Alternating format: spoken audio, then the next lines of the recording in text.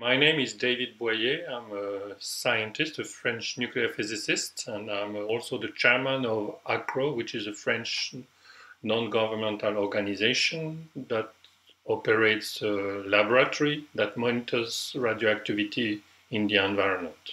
And this laboratory was created just after the Chernobyl disaster.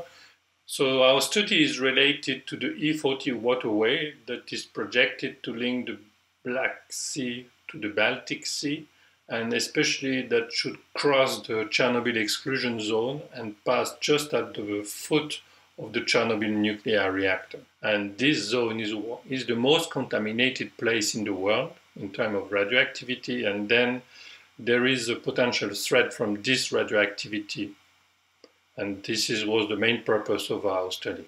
So, in order to conduct this assessment of the E40 waterway, we divided the works into three places. First was inside the Chernobyl exclusion zone, and we checked mainly the impact on workers.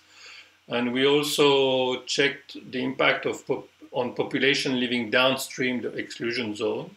And also we checked the impact for population living upstream the exclusion zone so for the first part of the study dedicated to workers inside the exclusion zone, we found out that the exposure dose will reach almost the maximum allowed in Europe, which is somehow incredible levels. If you compare this to nuclear workers in France or even nuclear workers at the Fukushima disaster, these are those that are quite higher. So this is not acceptable, and this makes this E40 waterway impossible to build in this part. Also, in the exclusion zone, there are this cooling pond that is extremely contaminated, and there are many radioactive waste storage places that might be inundated after the dam is built, and that will means more radioactivity released into the Pripyat and then into the Dnieper River for population living downstream the exclusion zone, we should keep in mind that there are 8 million people directly drinking the water from the Dnieper River and 20 million people eating food that was irrigated with the water of the Dnieper River. And for this population, there will be two phases. First, the construction world, which means construction work inside the exclusion zone that will liberate a big amount of radioactivity that will be carried downstream.